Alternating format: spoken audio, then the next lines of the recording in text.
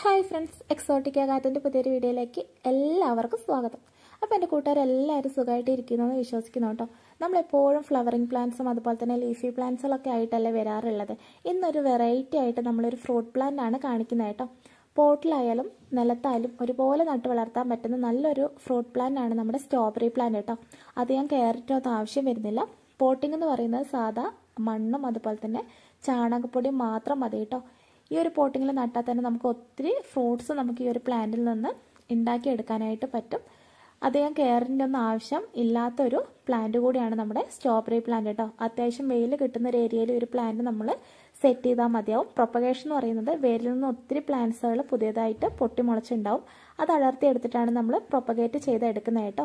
ചെറിയ കാര്യങ്ങൾ നനവായാലും ശ്രദ്ധിച്ചാൽ തന്നെ നമുക്ക് നല്ല രീതി രീതിക്ക് ഈ ഒരു പ്ലാന്റിനെ സെറ്റ് ചെയ്തെടുക്കാനായിട്ട് പറ്റും കേട്ടോ അപ്പോൾ നമ്മുടെ ഇന്നത്തെ വീഡിയോ എന്ന് പറയുന്നത് സെയിൽ വീഡിയോ ആണ് സ്ട്രോബെറിയുടെ പ്ലാന്റ്സുകൾ നല്ല ഹെൽത്തി ആയ നല്ല മെച്ചേർഡായിട്ടുള്ള അത്യാവശ്യം ഹെൽത്തി ആയിട്ടുള്ള പ്ലാന്റ്സുകൾ ഇപ്പോൾ നമ്മുടെ കയ്യിൽ സെയിലിനായിട്ടുണ്ട് കേട്ടോ.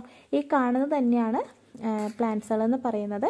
പ്ലാന്റിന്റെ സൈസ് വന്നിട്ട് ജിഫിയിലാണ് പ്ലാന്റ്സുകൾ വരുന്നത്. ഇതാണ് പ്ലാന്റിന്റെ സൈസ് എന്ന് പറയുന്നത് കേട്ടോ. നല്ല ഹെൽത്തി ആയ പ്ലാന്റ് ആണ്. ഈ ഒരു പ്ലാന്റിന്റെ റേറ്റ് വന്നിട്ട് നാൽപ്പത് രൂപയാണ് കേട്ടോ. അപ്പോൾ താല്പര്യമുള്ളവർ സ്ക്രീനിൽ കാണുന്ന നമ്പറിലേക്ക് വാട്സപ്പ് ചെയ്താൽ മതി.